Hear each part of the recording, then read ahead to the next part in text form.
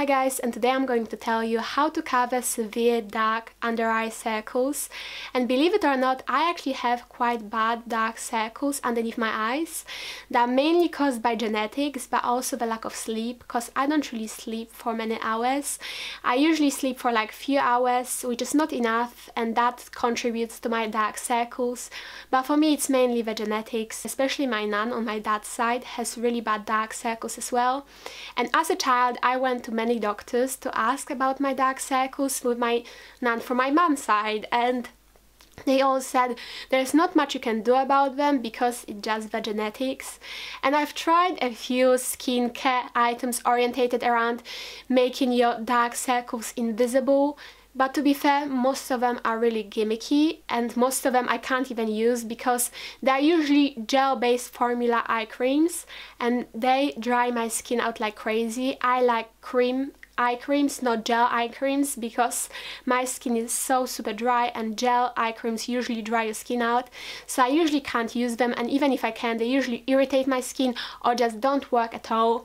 So I just cover them with makeup, with some concealer, some foundation and some powder. A couple years ago I told one of my friends from college that I have actually really bad dark circles and she wouldn't believe me. She would be like, no, you don't have really bad under eye circles, what are you talking about?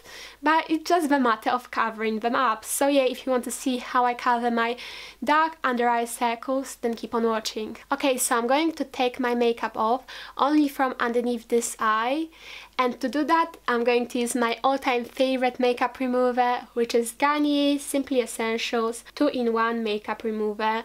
This is my favorite. This is amazing. This takes your makeup off within seconds and I absolutely love it. So I'm going to just put some of this on my cotton pad and then press it gently and take my makeup off from just underneath my eyes so we can see the difference between this eye and this eye. So let me just shake it quick and then put some on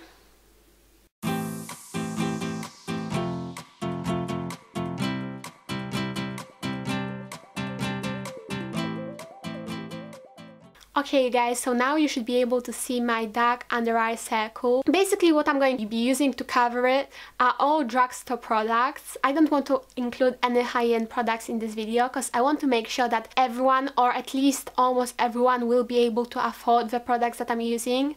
And I'm going to use two concealers from Collection and I'm really sorry if you can't get Collection where you live. I know in most places you can't get Collection but if you are from US or Canada then the concealer that works really similar to collection is the one from LA Girl. The LA Girl Pro Concealer works really similar to collection concealer so just get that one instead of this one. They're both inexpensive, they're both from the drugstore but obviously LA Girl you can get in different places and collection you can get in different places so depends where you're from and what products you can get hold of. Just use this one or the other one, they are very similar but I actually have two colors of this concealer that's why I have two. But so far I will only worry about one in the shade 2 cool medium. Now I'm not cool tone. I don't have pink undertones. I have very yellow undertones. However salmon color or pink color in general will correct that kind of darker purpley bluey color better than the yellow color concealer. And I don't mind if this doesn't match me because I will cover this afterwards anyway. And one thing that I've learned over the years is that firstly apply concealer then apply your foundation. Don't do it the other way around. If you have dark under eye circles if you don't have dark under eye circles then just apply your foundation first and then concealer. But for dark under eye circles I would say apply concealer, foundation and then another concealer on top just to lock that concealer in place and make sure it won't fade within the day. It will stay for the whole entire day. It won't fade, it won't smudge, it won't budge. So that's what I'm doing now. So just dot it like that. You don't need much product at this point at all, just because you will be putting foundation and another concealer on top. And to blend that out, you can use your finger, that's totally fine. But what I will be using is this EcoTools foundation brush. And this is flat top foundation brush.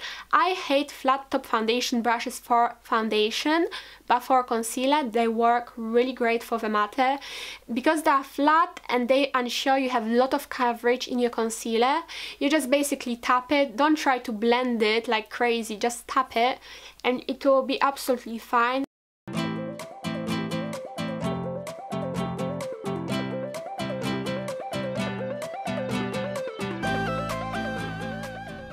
And once this is blended, you can already see a major difference in your dark under eye circles. They may not be completely covered, but they are covered enough. But if you are like me and you are yellow tone, you can definitely see the difference between the color of your under eye and the color of your skin. So now I'm going to put some foundation on top. And the one I'm using is my Revlon Colorstay foundation. It's my all-time favorite foundation, but it's also the one that will cover your dark under eye circles even better because this is full coverage foundation so if you put this on top of that you will achieve even more of that coverage so that's what I'm going to be applying and the way I apply this, just because it doesn't come with a pump, I have to use q-tips to apply this. So basically I scoop some foundation and then dot it around the face. If you don't like full coverage foundations, then you don't have to use this. Two concealers should be enough. But if you are like me and you just have to make sure that everything looks even and perfect, then the full coverage foundation would be a good one to go for. And then the way I like to blend my foundation at the moment, because it always changes, is with a nice flat top brush that's not very dense, that's kind of fluffy so you can still blend with it, yet it's flat top so you achieve a lot of coverage and you don't waste much product. So let me just blend it quickly to my skin, like so and yeah now that's blended. And then if you can still see some of a dark circle peeking through then just use the concealer that's the right shade to your skin tone. So for me that's warm medium number three from collection.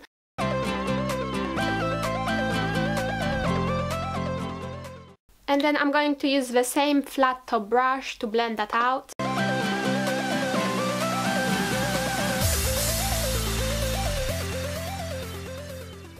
And what I have to do now to stop my foundation from creasing is to use a fluffy, small fluffy brush like this one. I'm sorry this is dirty but I used it before I started to record this video.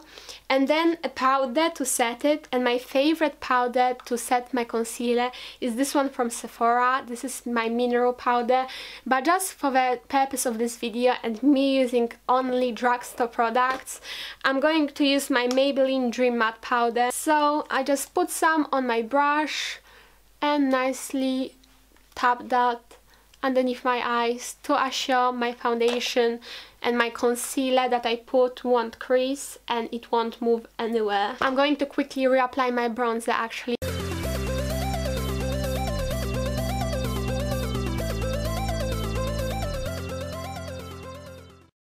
Okay, yeah, that will do.